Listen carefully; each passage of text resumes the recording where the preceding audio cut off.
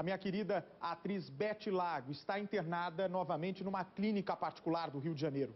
Segundo a assessoria de imprensa do hospital, a atriz deu entrada com um quadro de problemas no estômago e também desidratação. Beth Lago, de 57 anos, luta contra um câncer na vesícula há nove meses. A previsão é de que ela receba alta amanhã. A gente fica, claro, na torcida pela recuperação dela.